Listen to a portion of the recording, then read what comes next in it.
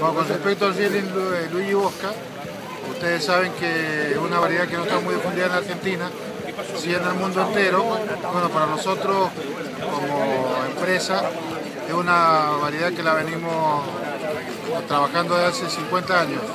Miren, bueno, surgió la idea de hacer un Riesling distinto, distintivo de una zona distintiva, que es la zona, ¿no es cierto?, la compuerta de Luján de Cuyo, y hemos logrado un vino realmente de con este vino.